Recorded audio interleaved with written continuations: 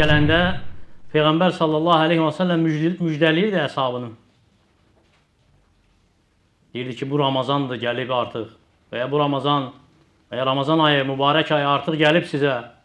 Vəsf edir, deyir ki, bu ay elə ki girdi, cəhənnəmin qapıları bağlanar, ondan heç bir qapı açılmaz.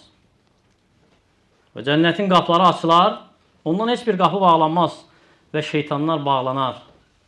Və sonra bir carçı səslənər, ey xeyir istəyən, üst tut, ey şər istəyən uzaqlaş. Və Allah talanın bu ayın hər günündə azad etdiyi qulları var.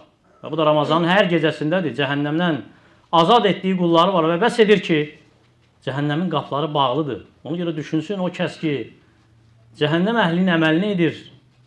Xüsusən də bu ayda hansı ki, bağlayıb Allah Taala bu qapıları, o isə inadı ilə bu qapıları döyür. Düşünsün o kəs.